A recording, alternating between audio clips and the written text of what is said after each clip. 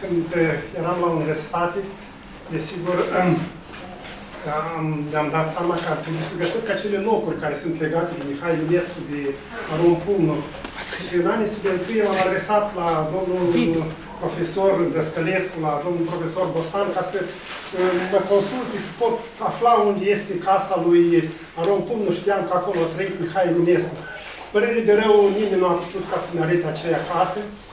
Numai că doamna Zinaida Peniuc mi-a spus undeva de la închisoare în jos, caută pe o stradieră acolo, era casa la care am fost, a fost ea când era încă la liceu din Cernăuț.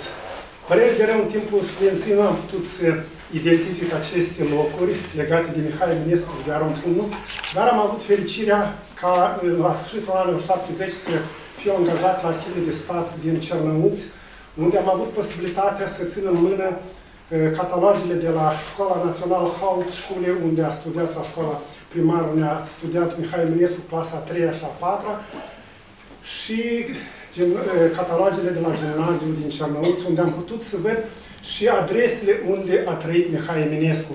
Astfel, pas cu pas, am depistat, am găsit aceste locuri și am scris un articol pe care l-am publicat în literatura și artă în anul 1982, în care, de fapt, da.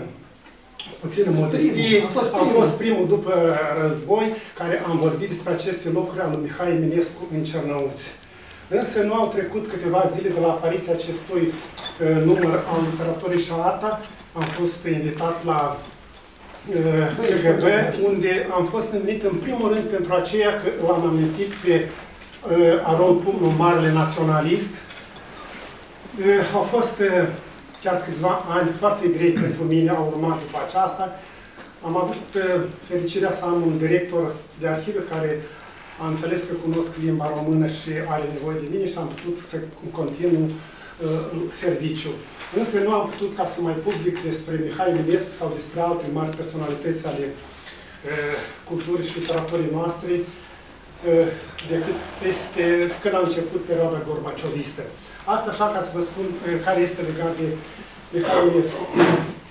Desigur, sunt multe probleme care sunt puse în discuții. Mulți n-au cunoscut mai până de urăz că, de fapt, Mihai Eminescu a fost înmormântat în cimitirul vechi. Imediat după moartea lui Aron Pumnu, imediat după moartea lui Aron Pumnu, la luna martie, autoritățile orașului au anunțat toată populația că cimitirul vechi este închis și se deschide un nou cimitir la Horecea, și sunt rugați ca să fie transferate acolo.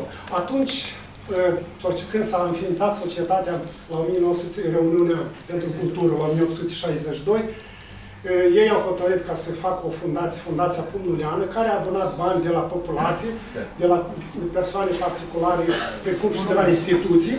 Au adunat ă, o sumă foarte importantă și a fost ridicat acest monument la care noi ne închinăm acum la 1888, deși acolo e scris 1886, de fapt el a, a fost transferat la 1888 aceste uh, osemintele lui Aron Pumă în noul cimitir și s-a ridicat acest monument. Mihai Eminescu a fost ultima dată la Cernăuț în 1885, el desigur a vizitat, l-a vizitat mormântul lui uh, Arune Pumnu aici în cimitirul vechi. La asemenea, de asemenea, când a fost în 1000 875, despre care foarte cu multe amănunte scrie Ștefaneli, el a vizitat tot mormântul de la cer. El n-a fost niciodată în cimitirul nou din oraș, Mihai Eminescu, vorbea despre asta. Dar, de fapt, am vrut să vă mai spun un lucru, că azi avem și încă o sărbătoare mare, este legat de marele actor român, Grigore Vasiliu Berlig. El s-a născut în 1905, la 24 ianuarie și a venit aici la Cernăuț după ce a terminat studiile în gimnaziul la Fădice, la Focșani, a venit la Cernăuț și a intrat la facultatea de drept de la Universitatea din Cernăuț. Însă i-a plăcut foarte mult actoria și a trecut la Conservatorul de Artă Dramatică din Cernăuț, unde a studiat câțiva ani, iar după aceea, concomitent, fiind încă student, a început să fie actor la Teatrul Național Vasile Alexandru din orașul Cernăuț.